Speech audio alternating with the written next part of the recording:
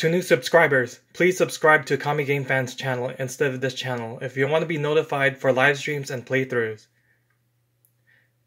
Para los nuevos suscriptores, por favor suscribirse al canal de Kami Game Fan en lugar de este canal si desea ser notificado para livestream y playthroughs.